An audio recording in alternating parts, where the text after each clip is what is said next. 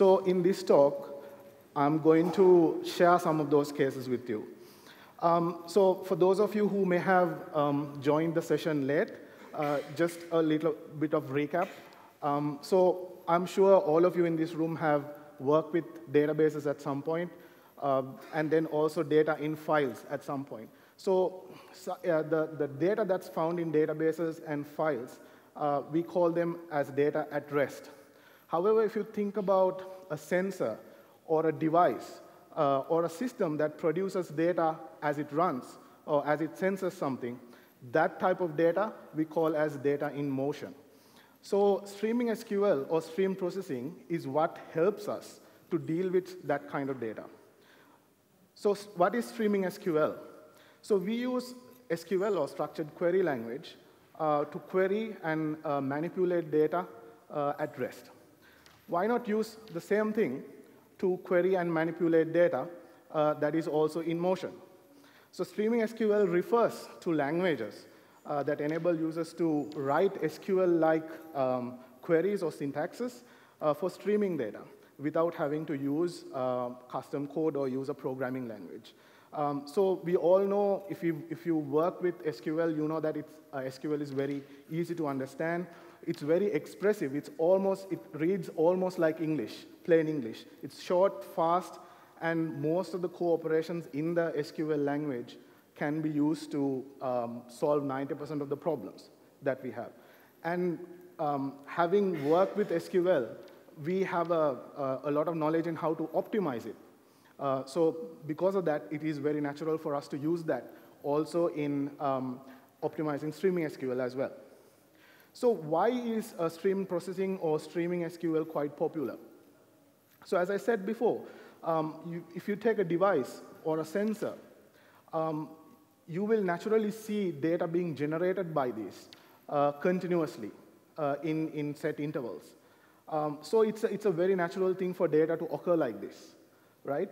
Uh, and then, um, um, so if you, if you think about batch processing, as, as Suho mentioned earlier in his talk, uh, in batch processing, what we do is we collect data over a period of time, and then we run some complex operations on the data that we collected, maybe sometimes across multiple batches, and then try to derive certain insights out of that. Uh, however, the way that the world is moving, the way that the business, new business models are coming up, time is of very, uh, very importance. So you might want to know at any given time uh, certain partial results about maybe a certain key performance indicator or how your business is uh, going. So because of that, there is a natural need for real-time insights nowadays. Stream processing helps with that too. Um, and if you think about, again, data in motion, there's a lot of data that's generated uh, on the fly, and this data can be quite large to store. So it is quite natural for us to process as and when the events happen, and then derive certain insights on the fly on that data. So likewise, data in motion is quite naturally, quite natural. So stream processing is something that helps in that area, and which is why it has become more popular. Uh, so in our experience, we've seen multiple users of um, streaming SQL. Um, and we can, we can kind of categorize them into these four categories. Uh, one is the pure uh, real-time analytics perspective, where you might do something like a complex event processing, as, as you would have done in complex event processing, and then um, try to identify certain patterns in, in data in motion. Um, so um, you might have scenarios where you have data at rest or data in motion. You want to process them. You want to make some transformations to them. And then you want to either make them data at rest or feed it to another data stream. So that kind of scenarios we've seen uh, are called streaming data integration. Suho mentioned about that in his talk as well. Um, we have also seen um, uses for streaming SQL where you have a typical flow of data coming in into the system, uh, and then you naturally process it as they come. However, you might also want to query that system um, in, in um, maybe in certain instances to find out what's going on at that point.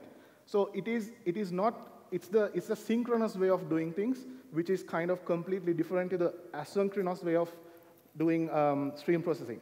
However, this, um, this is, um, so if you can do something like that, the advantage of that is you can get to know insights then and there as you need. Uh, so those type of frameworks we identify as adaptive intelligent frameworks. Why? Because they give you insights depending on the changes to the environments or changes to the, to the insights that you know already. Um, so streaming SQL is, is used in that area as well. Then notification management. So you might analyze certain data that's coming in, and you might act upon some of the patterns that are in the data, and then notify maybe certain interested parties. So that is another use for streaming SQL uh, in the real world. Um, now, if you think about these four areas, you will obviously see that they are not unique. There can be overlaps within these areas. So if you think about it, there can be a scenario where uh, in a streaming data integration scenario, you might also want to do some notification now. You might have a scenario where you are using an adaptive intelligence framework where uh, you might also want to send out a notification. Or you might want to do some uh, streaming data integration as part of it. So we see that there is somewhat of an overlap in these areas as well. And all these three areas can also be thought of as real-time analytics as well. So now, let's look at some of the users of streaming SQL um, in the real world. So before we dive into the different uses, use cases or examples, uh, I want to recap on what the stream processor can do. So WSO2 stream processor collects data from different sources. It can analyze those data. So the data can be from apps, services, APIs, devices, or sensors. It can do certain ana analysis based on um, the streaming SQL that you write. And based on the, um, the insights that you derive from your analysis, you can do certain things as you wish. It could be calling another API. It could be actually sending that data into another data stream or to another system. Uh, it could be sending an alert, or it could be showing that on a dashboard for, uh, in using some visualization technique. You can also uh, store that data, the, uh, the, uh, the insights that you've derived, as data at rest. So all this is possible through our WSO2 stream processor. So in the, uh, in the examples that I'm going to discuss here on, you, I, am loosely using the WSO2 stream processor in the diagrams. Um, it could signify the use of the actual stream processor or streaming SQL in a, in a business sense. Um, I am using just one instance of it in the, in the diagrams, but it does not mean that the real use case only uses one instance. It could be a completely distributed deployment of the stream processor. Uh, so um, having said that, let's look at the first example. So the retail business, right? So we have one customer who is into, um, who has a, uh, who's into the uh, food services business. Um, they have a website, and their customers can purchase goods, place orders through a website. Uh, so their customers could be individuals, restaurants, supermarkets, so they can use multiple devices to play, place these orders. Um, and then um, these orders come in, they are fed into the uh, stream processor. There are certain rules that are defined using streaming SQL. The streaming SQL runs silently, uh, identifies certain patterns in the orders that they place. Uh, and then they try to identify um, certain correlations between the items they order, the frequency of items, and so on. So let's assume somebody places an order the usual way uh, on, on a, on, a, certain day, and then the, what we do is we, we identify that through stream processing, using certain streaming SQL rules, that this particular order is slightly different to what they typically order. So they typically, so example, they usually always buy milk. But this particular order does not have milk added into it. So this, the, the system identifies that there's something missing because there is a deviation from the normal order that they place. And then it can actually prompt the system to actually the, the ordering system can query the stream processor to find out whether there's any anomalies in the, in the order based on the historical data that it knows. And then the ordering system can just remind the customer or the consumer, have you forgotten the milk? And that might actually, so that add, adds value. The system knows what you typically order, and then it reminds you just to check whether you've forgotten something. So that's a classical use case of streaming SQL. It's also a classical use case here that combines asynchronous processing that generally takes place in the streaming uh, stream processor, where the data comes in, it analyzes the data, stores insights, versus the, the synchronous part of it, where the ordering system might query the stream processor to find out whether there's an anomaly. Next example. So all of you would have used PickMe or Uber at any point of time. Um, so this, this particular use case is actually from Uber, who uses streaming SQL for, for this scenario. So what Uber does is Uber um, gives certain, um, does certain payments to the drivers based on the number of trips they do on a given day. So let's say a driver gets paid a certain amount for doing five trips, eight trips, and 10 trips. Uh, and, the, and the amount they get goes exponentially higher based on the trips. So if I'm a driver, I can maybe talk to the rider and come to a sort of an agreement that works with my, in my favor to kind of rig this system, right? I can say, hey, um, why don't we break this trip into two so that it counts as two trips for me, right? So Uber uses streaming SQL uh, in that scenario to identify certain fraudulent patterns. Uh, so for example, let's say the driver and the rider has made one part of that trip, and now they are trying to, the, the rider requests for the, a second trip, and the, and the driver is about to accept it. The system gets notified about this data. So the mobile app on the driver's phone will um, send the data uh, that they would like to accept this trip. The mobile app on the rider's phone obviously sends the data as to where they want to be picked up, where they're going to go. So um, the, the, the, location of the rider and the driver will be compared by uh, the stream processor, right, or the streaming SQL logic to see whether there's any geographical um, similarity where they have been or where they are right now, and then it can also go back and check the history of the trips that they've made and see whether there's any instance of both of them uh, being you know, uh, combined together in the previous maybe two or three or five trips. And if there is a match, then it can identify that there is a potential fraud scenario, and then it might deny the driver of that ride or that trip. So Uber uses streaming SQL to, uh, to uh, define certain, um, certain patterns, certain fraudulent patterns, to look for the, um, these patterns. Another area that streaming SQL is uh, very uh, widely used is healthcare. So we have a, a client a customer who uses streaming SQL in this space. Uh, so uh, imagine uh, a scenario where the, a patient is hospitalized. The patient's vitals are being monitored using certain, certain sensors. That data gets pumped into the stream processor. Uh, the hospital staff might also do certain uh, passive type of checks where they come and take maybe blood samples, send it to a lab. The, blood, the, the lab analyzes the blood samples, and then enter the details into a system. So when, a lab, when the lab analyzes it and looks at the sample, there might be nothing alarming in the results. And they might just enter it into the system.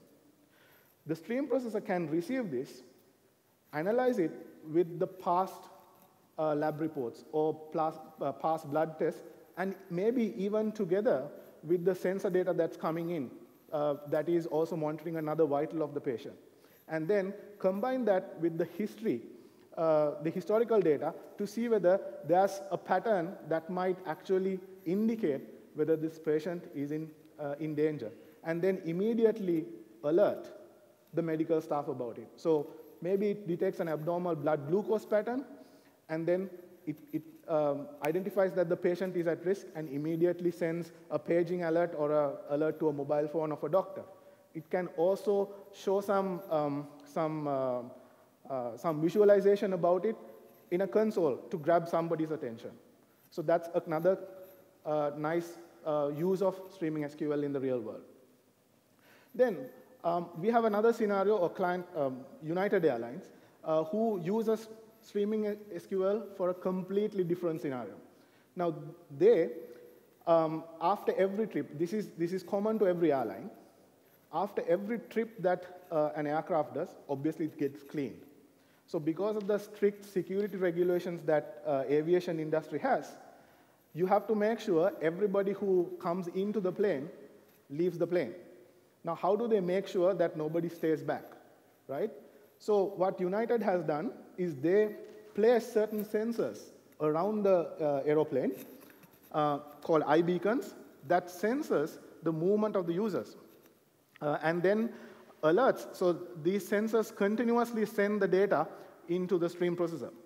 The stream processor identifies that there are so many, so many people inside the, in, inside the uh, aircraft right now, and when, it, when the time comes for them to exit it, it can also um, trigger a different rule set to figure out whether there's somebody, did somebody remain within that aircraft. And if the sensor picks up that somebody did remain, it can alert somebody who, uh, like a security or you know, whoever who wants, who has to be notified about the fact that all cleaning staff may not have exited the aircraft. So this is another um, use, uh, use case for, um, for streaming SQL. Uh, more, um, so that, that area is called, um, um, it's, it's to do with geographically identifying uh, where certain um, people are and then uh, working with uh, certain geolocations that streaming SQL also is able to do. Then all of you would have bought something uh, on the net or have done some, some financial transaction on the internet. Uh, so if you have done that, you know how important security is when you do an online transaction, right? So let's take a scenario um, where you're buying something on the net, right? So um, nowadays, it's uh, not just local banks, but uh, there are uh, certain uh, regulations in different parts of the world that forces financial institutions to make sure that the person who initiates a payment is properly authenticated. So when you, when you initiate such a payment, you might log into your bank account or enter your credit card details or whatever. You might be authenticated as a first step, and then you initiate that payment. So that, that payment information comes into, let's say, um, the stream processor. It can look at the historical data of your, of your, of your transactions or previous payments. And we, we, might, uh, we, we can uh, define certain certain patterns to ensure that we take additional measures of security if uh, one of these rules are met. For example, let's say your payment is more than $100. However, if you consider the total uh, past five payments, and if that is more than $500, you can force the system or advise the system to engage a second or a third factor of authentication, which could be, let's say, for example, a one-time password that's generated on uh, or uh, delivered through SMS, or a biometric type of authentication mechanism. That further ensures that it is actually the person who's intending, uh, who's the owner of this credit card or bank account doing that purchase. So this is, um, sorry, this is mandated by certain regulations in the different part of the world. So um, if, you, if you've heard about our open banking solution, um, the, uh, the, the, users of our open banking solution has this functionality built in in the solution. Uh, this is called adaptive authentication. The latest version of our identity server also has this type of functionality built in where you can use rules to um, engage different type of authentication mechanisms based on business rules. Then digital advertising. All of you would have um, visited a website that has digital ads. So we have a customer who bids for these ads. So let's say you, you, um, you um, visit a website, there's space in that website for an online ad. This company bids for that ad um, based on certain information. It could be the user, it could be the time of day, and the website. So that information comes into their, uh, to their system. The system needs to make a decision in very quick time because there are other systems also bidding or other companies who are also bidding for that same ad space. So they have to make a decision. The requirement was that they have to make a decision under 20 milliseconds. So they use streaming SQL for this purpose. They have uh, historical data about what the user typically purchases and what they, have, what they have purchased in the past and their buying patterns. They also have another system that advises them um, about the amount to bid for based on certain parameters like the website, the time of day, how likely the user is going to buy something, and so on. And then they can make a quick decision whether to bid for this ad or not based on the likelihood of that user clicking on that ad. And then make sure they bid the right amount to get that ad space for themselves. Now, while their requirement was to do this under 20 milliseconds, using our WSO2 technology, they were able to achieve this with 0.5 milliseconds. So that's another use of streaming SQL in the real world. Right, so we've seen many examples now. So let's just look at some of the advantages of using streaming SQL. So from a business perspective, um, using streaming SQL allows you to make better business decisions because it can give you operational and business monitoring capabilities. Uh, and then the insights that you derive from this data that comes into your system, uh, the, the stream processing and streaming SQL also allows you to visualize this or send alerts in different, different ways. Um, like in the case of the digital uh, advertising uh, example, uh, this allows you to also derive certain new uh, value propositions and then make certain offers to the customers or make certain customized advertisements to the customers.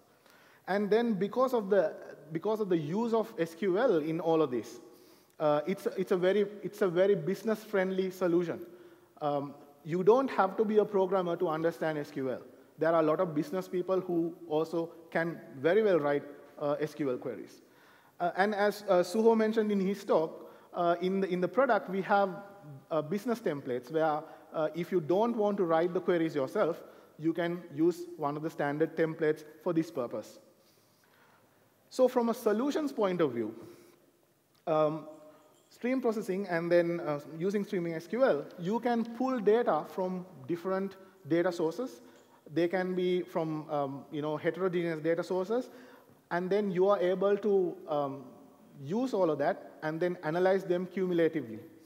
Uh, and then you can analyze them. So if, if you, um, so the stream processor is able to pull that data in a very non-intrusive manner and then analyze it and then also push it uh, to an existing flow without any interruptions to the current flows.